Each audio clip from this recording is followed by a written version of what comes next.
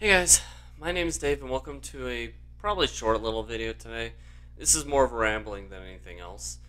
Um, recently I've been reminiscing on when I first moved out on my own. Um, this was about seven, eight, maybe nine years ago. I think it was like seven years ago actually. Maybe a little bit more than that. Anyway, I digress. Uh, That's aside from the point. Remember, like, my first move out steps, they were very, well, scattered, sure, and I was very all over the place when I first moved out. I do remember that.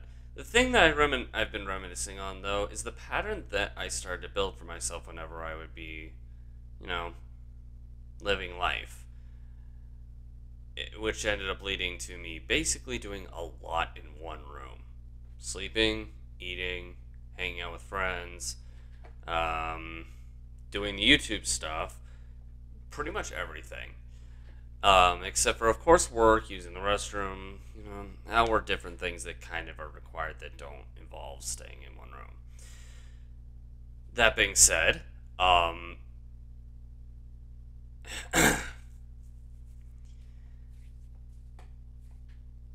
I guess. Mm, I don't know. There, there were.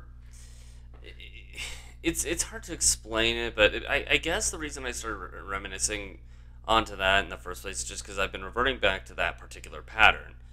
Um, that I'm prepping to live on my own again for a bit, I figured, you know what? Why not bring back that little pattern I had when I was, you know, living in my first place.